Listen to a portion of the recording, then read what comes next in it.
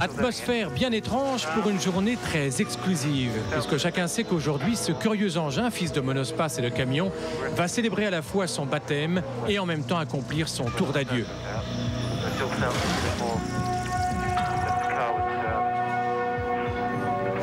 D'abord curiosité sur le stand Renault l'an dernier au mondial, l'idée viendra ensuite de faire rouler ce prototype dont la durée de vie finalement sera aussi brève que celle d'un éphémère. Christian Conzen, Bernard Dudot, Gérard Ducarouge, Renault Sport, Williams, Matra, auxquels vont se joindre les pilotes Éric Bernard et Alain Prost, se lancent ainsi dans la mise au point en quelques mois de ce monospace diabolique, puisqu'il est le seul à avoir un cœur qui bat à plus de 800 chevaux, un moteur de Formule 1.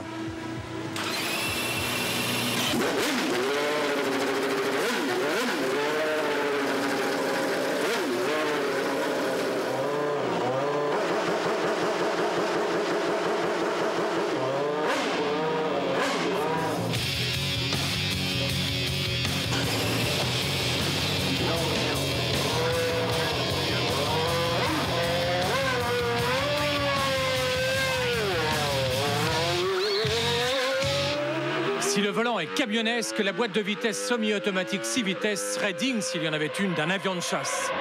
Au freinage, sous l'effet des énormes disques carbone, l'espace F1 est presque scotché sur place. 80 mètres seulement pour dégringoler de 300 à 70 km/h. Passer la chicane improvisée, la courbe de signe vous saute au pare-brise.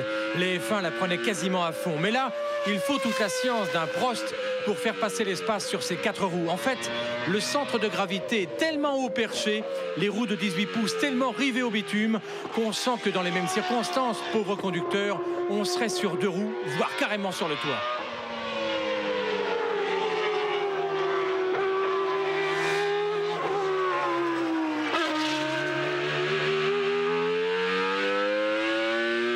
Tranquillement sollicitée par le pouce droit, la boîte séquentielle obéit docilement, monte alors violemment en régime jusqu'à plus de 14 000 tours et délivre toute la charge de ses 3 litres et demi, plus de 800 chevaux, en engloutissant 60 litres au 100, ce qui à 27 francs le litre d'essence vous cogne un prix de revient kilométrique 300 fois plus élevé que celui d'un monospace de série.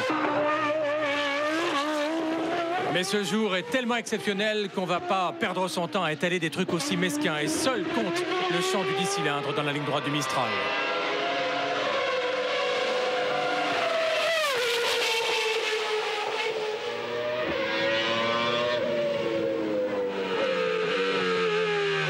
Moi, j'avais toujours eu l'idée dans le passé de d'amener euh, les journalistes, surtout ceux que j'aimais pas, dans une, dans, dans une F1, dans une F1 à- à deux places.